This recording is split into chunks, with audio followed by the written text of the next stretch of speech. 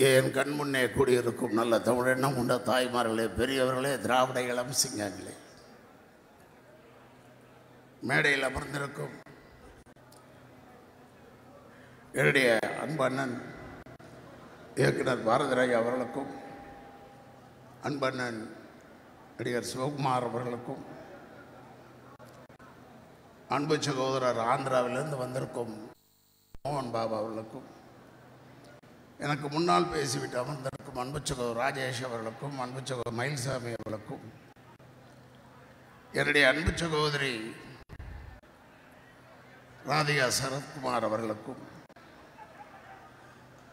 என்னுடைய அன்பு சகோதரர் பிரகாஷ் ராஜ் அவர்களுக்கும் என்னுடைய அன்பு சகோதரர்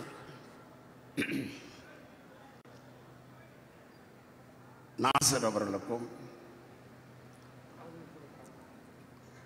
பொதுவான ஒரு இயக்குனர் பொதுவான நடிகர் அன்பு சகோதரர் பார்த்திபன் அவர்களுக்கும் எங்கள் குடும்பத்தைச் சேர்ந்த நான் வணங்கும் நடிப்பிலே நான் வணங்கும் நடிகர் தலைமை அவர்களுடைய மகன் சகோதரர் பிரபு அவர்களுக்கும் மேலும் கொங்கு தமிழன் என்று அனைவரும் சொல்லலாம். ஆனால் தமிழர்கள் மீது அதிக அக்கறை கொண்ட என்னுடைய அன்பு சகோதரர் என் மாப்பிள்ளை சத்யராஜ் அவர்களுக்கும்.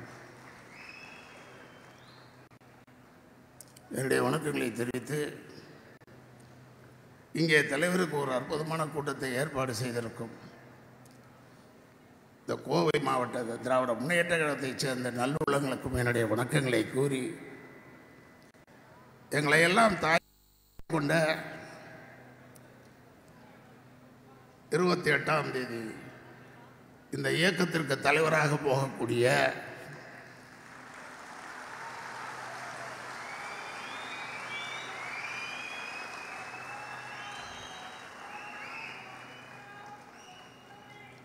வரும் தேர்தலில் தமிழகத்தின் முதல்வராக இருக்கக்கூடிய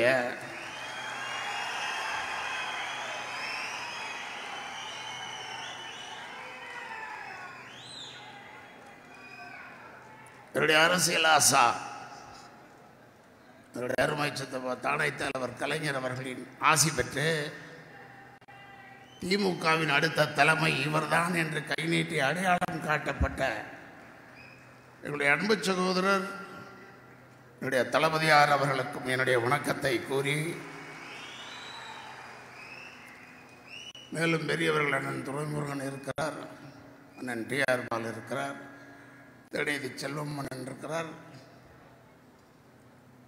ஜெகத்ர ஜெகன் இருக்கிறார் அண்ணன் பொன்முடி அவர்கள் இருக்கிறார்கள் கண்ணப்பண்ணன் இருக்கார். அத்தனை பேருக்கும் தனித்தனியாக சொல்லப்படல் நேரம் இல்லை இருந்தாலும் எங்களை பார்த்து கொண்ட அண்ணன் வேல் அவர்களுக்கும் அன்பு சகோதர தயானை மாறன் அவர்களுக்கும் என்னுடைய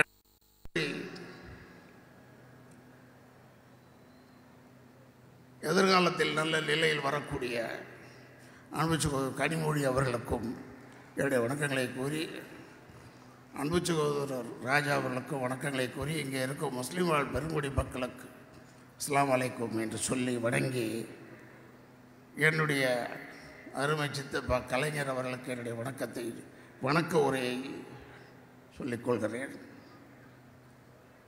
கலைஞர் என்ற ஒரு வார்த்தை அது ஒரு கந்தக சொல். அது எப்பவுமே சொல்லியிருக்கேன்.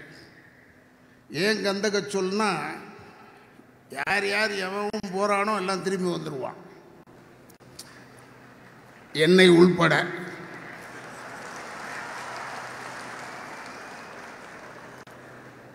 அது ஒரு கந்தக சொல்லு. நான் தான் வந்தேன்னு திரும்பி பார்த்தா ஆனால் வைகோவே வந்துட்டார். இல்லையா?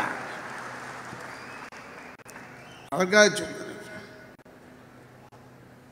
இப்போ கூட பாருங்க. எங்கள் தளபதியார் அழைத்தார். அமித்ஷாவே வந்தாலும் வந்து விடுவார் அப்படின்னு சொல்லுவார் இப்போ ஏன்னா தமிழ்நாடுன்னா ஒரே விலாசம் திமுக என்று ஆகிவிட்டது. அப்படி ஆக்கியவர் தலைவர் கலைஞர் அவர்கள்.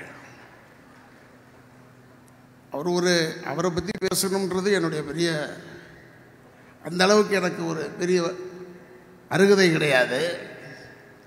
கலைஞர் அவர்கள் கட்டி முடித்த கோபுரம் நான் குவிந்து கிடக்கும் செங்கல். அதனால் சொல்லிக் கொள்கிறேன் எனக்கெல்லாம் பெரிய பெருமை என்னவென்றால் சகோதரி பிரியா அவர்கள் சொன்னதைப் போல் இந்த கலைஞர் கலைஞர் தான் சொல்கிறாங்க சொந்த பேரே மறந்துட்டாங்க இப்போ. எதிரிகள் கூட கலைஞர் தான் சொல்கிறாங்க அப்போ. யார் சொல்லக்கூடாதோ அவர்களே சொல்கிறார்கள். கலைஞர்னு. அந்த அளவுக்கு அந்த கலைஞர் என்ற நாலு சொல் நாலு எழுத்து.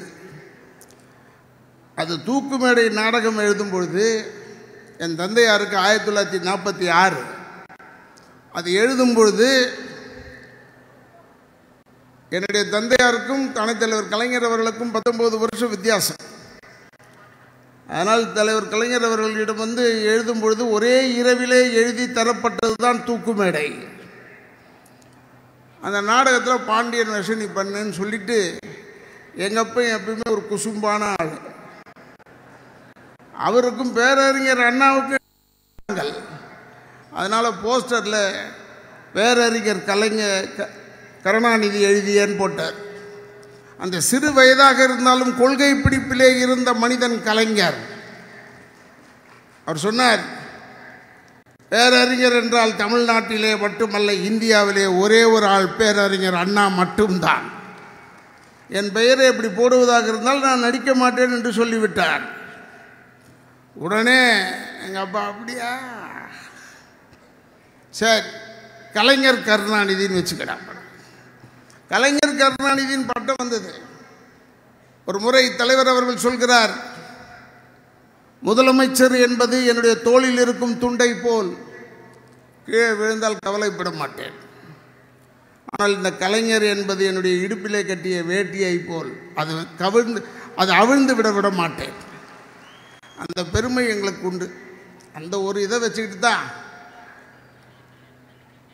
ராதிகாவட்டும் இல்லை நாங்களாகட்டும் இப்படிலாம் எங்களுக்கு ஒரு நெருக்கமே அப்படித்தான். ஒரே ஒரு இந்தியாவிலே ஒரே ஒரு தலைவர். ஏன்னா நான் வேறு எவ்வளோ பேரை சந்திச்சிருக்கேன் தலைவர்களில். ஐயா நரசிம்மராவ்லேருந்து பார்த்துருக்கேன் நானும். எப்போ போன உடனே பார்க்கக்கூடிய ஒரே தலைவர் ஒரே முதலமைச்சர் கலைஞர் ஒருவர் தான். வேறு யாருமே கிடையாது. கொஞ்ச நேரமாவது உட்கார் அப்படிப்பட்ட ஒரு மனிதன் அருந்ததியர் சமூகத்தின் மனித மலத்தை மனிதனே எடுக்க வேண்டுமா? மனித மலத்தை மனிதனே எடுக்கக்கூடாது. அப்படி எடுக்கிறார்கள். அவர்கள் இல்லை என்றால் சிரமம் இந்த நாட்டிற்கு. அதனால் அருந்ததியர் சமது சமூகத்திற்கு மூன்று சதவீதத்தை ஒதுக்கி தந்தவர் தானை தலைவர் கலைஞர் அவர்கள். அவருடைய இதை நிறைய சொல்லலாம். நான் அதிமுகவில் இருக்கும்போது ஒரு கடிதம் எழுதி கொடுத்துட்டேன் தலைவர்கிட்ட. இப்படி நடிகர்களுக்கெல்லாம் கஷ்டப்படுறோம் எங்கள் தொழிலாளிலாம் கஷ்டப்படுறோம் ஏதாவது ஒரு வாரியம் வேணும்னு. அவருடைய விழாவில் நான் முன்னாடி உட்காந்துருந்தேன் அவர் முதல்வர். நேரு இண்டோர் ஸ்டேடியத்தில் உட்காந்துருக்கோம் அப்போ க தலைவர் அவர்கள் பேசும்போது சொல்கிறார் நடிகர்களுக்கு சினிமா தொழிலாளிகளுக்கும் நல வாரியம் என்று ஒன்றை ஆரம்பிக்கின்றேன். அதை சொல்லி விட்டுட்டா ஒரு பய கேட்க முடியாது அவரை. ஆனால் அவர் அதுக்கு முன்னாடி ஒரு வார்த்தை போட்டார். தம்பி ராதாரவி கூறியதற்கு இணங்க இதை ஆரம்பிக்கின்றேன். அந்த பெருந்தன்மை கலைஞரிடம் மட்டும்தான் உண்டு. வேறு யாருக்கிட்டையும் கிடையாது. வடநாட்டிலே சிவசேனா ஐயா அம்பேத்கர் பெயரே இருக்கக்கூடாது என்று சொன்னவர்கள். ஆனால் அதை மீறி சென்னையிலே அம்பேத்கர் சட்டக்கல்லூரி திறந்தது தலைத்தலைவர் கலைஞர் அவர்கள். சாதாரணமான மனிதன் அல்ல. ஒரு தாழ்த்தப்பட்ட சமூகம் நீதிபதியாக வர வேண்டும் என்று சொன்னார் தந்தை பெரியார். அவர் கண்ட கனவை நினைவாக்கியது ஐயா கலைஞர் அவர்கள் ஆயிரத்தி தொள்ளாயிரத்தி எழுபதாம் ஆண்டு நீதிபதி ஐயா ஏ வரதராஜன் அவர்களை அவர் நியமித்தார். இன்னும் சொல்லுவாங்க ஒரு கதை சொல்லுவாங்க. அத்தனை சமூகத்தையும் பார்த்தோம். பத்திரிகையாளர்கள் வந்த பொழுது அத்தனை சமூக தலைவர்களையும் பார்த்தோம். தூங்கிக் கொண்டிருக்கிறார்கள் என்று சொன்னார்கள். உடனே கல்கட்டாவில் போய் அம்பேத்கர் ஐயாவை பார்க்கும்பொழுது விடிய காலையில் மூணு மணி முழித்து கொண்டே இருந்தார். எப்படி நீங்கள் மட்டும் முழிச்சுக்கிட்டே இருக்கீங்கன்னு அவர் சொன்னார். அத்தனை இனமும் முழித்து கொண்டது தலைவர்கள் தூங்குகிறார்கள். என் இனம் முழிக்கவில்லை. அதனால் நான் தூங்கிக் கொண்டிருக்கிறார்கள் என் இணையம் அதனால் நான் முழித்து கொண்டு இருக்கிறேன் என்று சொன்னார். இப்படியெல்லாம் கதைகள் கேட்டிருந்தாலும் நான் கண்ணார பார்த்தது கலைஞர் மட்டும்தான். காமராஜர் அவர்கள் இறந்தவுடன் ராஜாஜி ஹாலி பக்கத்திலே இடம் கொடுத்து நடு ராத்திரியில் அந்த வேட்டியை தூக்கி கட்டிக்கிட்டு ஒரு தலப்பா கட்டிக்கிட்டு அந்த மழையில் நின்று பண்ணாம்பார் அந்த மனுஷன். அதனால தான்டா கோர்ட்டில் ஆறு கொடுத்தான் பீச்சில் புதைக்கிறதுக்கு. அவர் வீட்டில் புதைக்கும் போது அவர் வாழ்க்கை பூரா போராடி போராடி போராடி போராடியே தான் வந்தார். நான் தளபதியார் அவர்களை அப்படி அழுது பார்த்ததில்லை. அவ்வளோத்தையும் உள்ளே வச்சுக்கிட்டு இருக்கார். இப்போ கூட எனக்கு பயம். அவரை பார்க்குறதுக்கு என்னமோ யோசிச்சுக்கிட்டு இருக்கிற மாதிரி இருக்குது பார்த்திபன் கூட சொன்னேன்.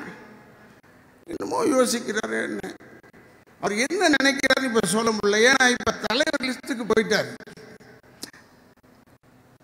அப்படித்தான் இருந்தார் அங்கே.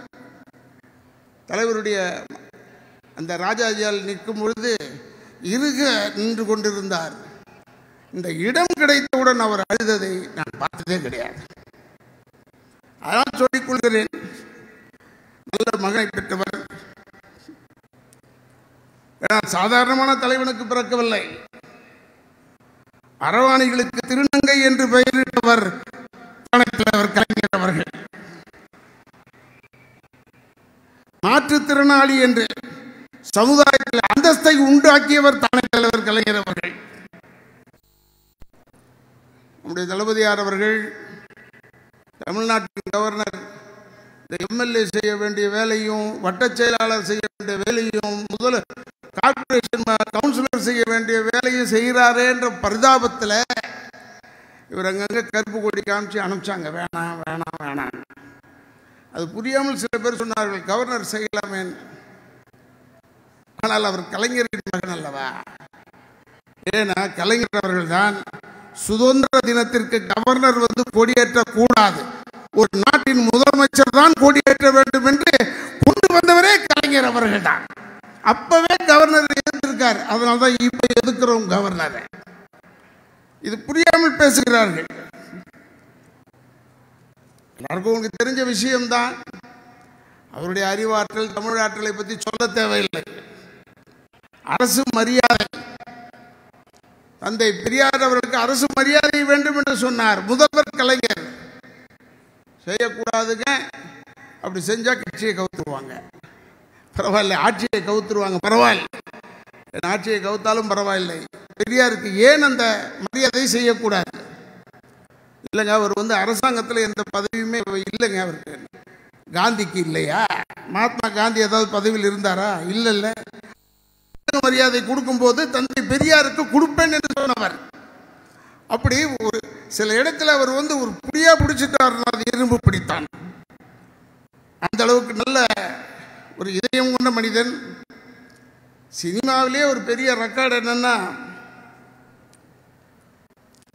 எல்லாரும்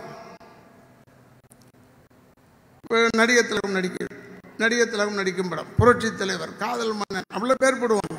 இப்போ கூட இந்த ஹீரோலாம் பேரெல்லாம் போடுறாங்க. ஆனால் ஒரு எழுத்தாளரின் பெயரை போட்டு கலைஞர் கைவண்ணத்தில்னு சொல்லி போட்ட படம் கலைஞருக்காக மட்டும்தானே தவிர வேறு யாருக்காகவும் கிடையாது. எழுத்தாளரின் மரியாதையை காண்பித்தார் கலைஞர் அவர்கள்.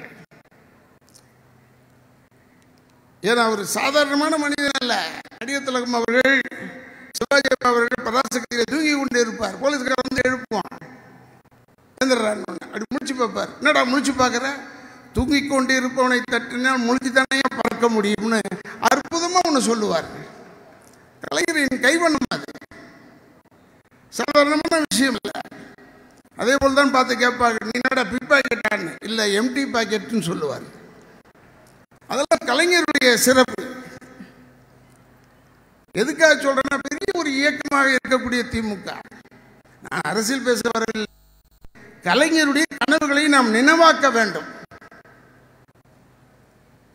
கலைஞருடைய குடும்பத்தார்னு சொல்லும் போது இவர்களை அல்ல எல்லாரையும் சேர்த்து தான் குடும்பத்தார் என்று சொல்கிறேன் என்னையும் சேர்த்து சொல்கிறேன்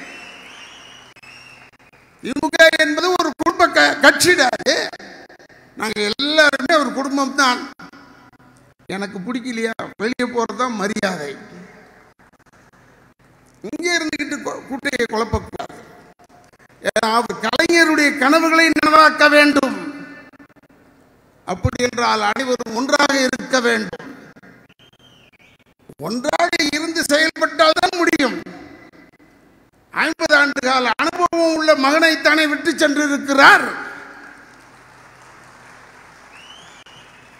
அவர் சாதாரண மனிதன் அல்ல. ஏன்னா நான் வந்து வந்திருக்கும் கலைஞர்களை போல் அவரை பற்றி சினிமாவில் பேசுவதற்கு மட்டுமல்ல கலைஞருக்கு நம்ம அஞ்சலி செலுத்தும் பொழுது கலைஞருடைய கனவுகள் நினைவாக வேண்டும். அவன் வரேன் இவன் வரேன் காலி இடம் அந்த இடம் இந்த இடம் யார் யாரோ சொல்லு அதெல்லாம் நான் பேச வரல. எவ்வளோ பேர் கட்சி ஆரம்பிக்கிறாங்க? அதான் எங்கள் அப்பா நடிகர் எம்ஆர் அதை அறிவாளி. ஆயிரத்தி தொள்ளாயிரத்தி நாற்பத்தி ஏழு ரத்த கண்ணீர் அதுலேயே சொல்கிறார் ஆளாளுக்கு ஒரு கட்சி அவன் அவனுக்கு ஒரு தலைவன். பத்தாயிரம் பட்டி பட்டாளம். பிரகாஷ் ஏன்டா நாட்டை கெடுக்கிறீங்கன்னு அப்போ சொல்கிறார் இப்போ நடக்குது. எல்லாம் கொடிய ஆரம்பிச்சிட்டாங்க. இந்த முக்குக்கு வந்த அப்பதான் பார்த்தேன் கோயம்புத்தூரில் ஏகப்பட்ட குடி வச்சுருக்காங்க. அதான் சொன்னேன் எவனாவது புதுசாக கட்சி ஆரம்பிக்கிறீங்க வந்து பார்க்க சொல்றா கலர் கிடைக்குதா பாரு. அவ்வளோ கொ- கொடி இருக்குங்க நாடு அழிந்து கொண்டு இருக்கிறது நாட்டை காப்பாற்ற வேண்டும் என்றால் திராவிட முன்னேற்ற கழகம் இருக்க வேண்டும். திராவிட முன்னேற்ற கழகம் இருக்க வேண்டும் என்றால் தளபதியார் இருக்க வேண்டும். இது அவர் அவரை புகழ்ந்தல்ல ஐம்பது வருஷம் எக்ஸ்பீரியன்ஸ் தான். அதற்காக சொல்கிறேன் சும்மா வந்து உடனே வந்து அவர் வந்து இன்னாருடைய மகன் வாங்க. ஆயிடுன்னா சொல்றார். ஒரு மகாராஜாவிடம் மந்திரிகள் அண்ணன் துரைமுருகனை போல் பேராசிரியர் போல் டி ஆர் பாலனனை போல் மந்திரிகள் மகாராஜாவிடம் சென்று உங்கள் இளவரசனுக்கு பட்டம் சூட்ட வேண்டும் மன்னர் பட்டம். ஆனால் மகாராஜா ஒப்புக்கொள்ளவில்லை. அவனை காட்டிலே தவம் இருந்து வரச் காட்டிலே தவம் இருந்து ஆறு மாதம் தவம் இருக்கட்டும்னு சொன்னார். அந்த இளவரசன் ஆறு மாதம் காட்டிலே தவம் இருந்தான். தவம் இருந்து வந்தவுடன் வந்துட்டாங்க தவம் இருந்துன்னு உன்னை. உனக்கு கண்ணு முடி தவம் இருந்தியா? இப்போ என்ன கேட்டுச்சு காதில்? குதிரை நடக்கும் சத்தங்கள் கேட்டது மிருகங்கள் நடக்கும் சத்தங்கள் கேட்டதுன்னு சொன்னான் அப்படியா? இன்னும் ஆறு மாதம் போய் தவம் இருன்னு சொன்னான் இந்த இளவரசன் இன்னும் ஆறு மாதம் காட்டில் போய் தவம் இருந்தான். அப்படி இருக்கும்போது திரும்பி ஆறு மாதம் கழித்து வந்த உடனே மன்னன் கேட்டான் ஆறு மாதம் இருந்துட்டியா? இருந்தேன். இப்போ என்ன கேட்டுச்சு? காற்றின் ஒலி கேட்டது ஆற்றின் சலசலப்பு கேட்டது என்று சொன்னான். அப்படியா? இன்னும் ஆறு மாதம் போய் தவம் இரு காட்டலன்னு சொன்னான். எல்லா மந்திரிகளும் அழுதாங்க. எவ்வளோங்க கஷ்டப்படுத்துறீங்க அந்த பிள்ளைய? இல்லை இல்லை இல்லை. நீங்கள் போய் இருக்க சொல் காட்டில். போய் காட்டில் போய் இருந்தார். ஆறு மாதம் கழிச்சு வந்தவொடனே மகனை பார்த்து கேட்டார் மகனே என்ன கேட்டுச்சு உனக்கு இப்போ? தந்தையே எனக்கு எறும்பு ஊறும் சத்தம் கேட்டது. புழு ஊறும் சத்தம் கேட்டதுன்னு சொன்னார். இப்போ நீ மன்னனாகலாம்னு சொன்னார். ஏன்னா ஒரு தலைவனாகக்கூடிய தகுதி படைத்தவனுக்கு பெரிய தலைவர்களிலிருந்து அடிமட்ட தொண்டன் வரை தெரிந்திருக்க வேண்டும். சாதாரணமானவனுடைய சத்தங்கள் கேட்க வேண்டும். சாதாரணமானுடைய நிலைகள் தெரிய வேண்டும். அப்போதான் நீ நாட்டுக்கு தலைவனாக முடியும்னு ஆக்கினார். அப்படி பல கொடுமைகளில் காட்டுக்கு அனுப்பவில்லை என்றாலும் அது மிசாவாகட்டும் எதுவாகட்டும் எந்த போராட்டமாகட்டும் அத்தனையிலுமே தன் மகனை முன்னிறுத்தி உள்ளே அனுப்பி தவமிருந்து பெற்றெடுத்த மகன் தானடா நம்முடைய தளபதி அவர்கள். அவருக்கு அத்தனை தகுதி வந்ததனால் தானே செயல் தலைவர் என்று காட்டினார் அடையாளம் காட்டினார். அப்பேற்பட்ட அந்த மனிதனின் கனவுகளை நனவாக்க வேண்டும். எனக்கு இன்னொரு சின்ன விஷயம் என்னென்னா ஐயாவுடைய ராஜாஜியாவில் இருக்கும்போது கூட்டம் கட்டுக்கடங்காமல் மேலே போயிட்டாங்க. இடமே இல்லை யாருக்கும். அந்த மாதிரி அவர் மேலே ஒரு ஆசை. அதே மாதிரி தான் மாநாடு நம்ம போகும்போது ஈரோட்டு மாநாட்டில் தளபதியாரால் உள்ளே வர முடியல. அவ்வளோ நெருக்கிறாங்க கூட்டம் ஏறிடுச்சு. அதே போல் தான் இப்போ கூட இங்கேருந்து அப்படியே ஒரு கத்தப்படி உள்ளே வராங்க. இங்கேருந்து கொஞ்சம் பேர் ஓடுறாங்க தொடர்படை நம்ம ஜனங்க இருக்கானே அவன் ஏன் கத்துறான் கத்துறான்னே தெரியாது. உடனே எல்லாரும் ஏந்திரிச்சு காப்பாற்ற போறியா? அவங்க ஆசையாக அப்படி தூ குதிப்பான் இவங்க போய் தள்ளுவாங்க சரியாயிடும். எல்லாத்துக்கும் ஒரு சில சில பொண்ணுன்னு பயப்படக்கூடாது. எதுக்கு சொல்கிறேன் நான் அவன் பேசிக்கிட்டு இருந்த மயில்சாமிக்கு பிரச்சனை ஆயிடுச்சு. சில சில சிலன்னு ஒரு சத்தம். அதற்காக சொல்கிறேன் இங்கேருந்து வந்திருக்கிறார்கள் என்றால் கலைஞரின் புகழ்பாட மட்டுமல்ல அவருக்கு ஒரு வணக்கத்தை செலுத்த வந்திருக்கிறார்கள். அதே நம்ம நாட்டு மக்கள் அப்படித்தான். நல்லவன் வாழ்வான்ல எங்கள் அப்பாவும் எம்ஜிஆரும் எதிர்த்து எடுத்து நிற்பாங்க எலெக்ஷனில். எம்ஜிஆர் ஜெயிச்சிடுவார் எங்கள் அப்பா தோத்துருவார் அது தெரியாது. இவரை தூக்கிக்கிட்டு ரெண்டு பேருமே ஜே ஜே ஜே வாழ்க வாழ்கன்னு கத்துவானுங்க. இன்னும் எங்கள் அப்பா கேட்பாரு யாரா ஜெயிச்சா யாரா தோத்தாருன்னு அதோ அவர் ஜெயிச்சிட்டாருங்க அடப்பாவீங்களா ஜெயிச்சவனையும் ஜேன்னு சொல்கிறேன் தோத்தவனையும் ஜேன்னு சொல்கிறேன் எப்படா இந்த நாடு உருப்பிடும்னு அப்போ சாபம் விட்டு போனார் இன்னும் உருப்பில்லடா என்று சொல்லி தமிழ்நாட்டு மக்களுக்கு மட்டுமல்ல தமிழ் மக்களுக்கும் சொல்லிக் கொள்கிறேன் நம்மக்கிட்ட இருக்கிற ஒரு கெட்ட பழக்கம் என்னென்னா கட்டையை வச்சு வீடு கட்டுவோம். சவுக்கு கட்டையை வெ- வச்சுத்தான் அதனுடைய உபயோகத்தில் தான் அதனுடைய உதவியில் தான் சிமெண்ட் பூசுவோம். அதனுடைய உதவியில் தான் வெள்ளையை அடிப்போம். எல்லாம் செஞ்சு முடிச்சிட்டு நல்லா ஆன உடனே அந்த வீட்டுக்கு கிரகப்பிரவேசம்னு ஒன்று செய்வான். அது செய்யும் போது சவுக்கு கட்டை எந்த சவுக்கு கட்டையால் வீடை கட்டினானோ அதையெல்லாம் கைட்டி ஓரத்தில் போட்டுட்டு தேவையில்லாத ரெண்டு வாழை மரத்தை வாசப்படியில் கட்டி விழா நடத்துவான். அதனால் தயவு செய்து உங்களுக்காக உழைத்தவர்களையும் உழைப்பவர்களையும் கலைஞர் அவருடைய கனவுகளை நினைவாக்க நன்றியோடு சவுக்கு கட்டையாக இருக்கும் நம் இயக்கத்தை மனதில் வைத்து தமிழ் மக்களுக்கு சொல்லிக் கொள்கிறேன்.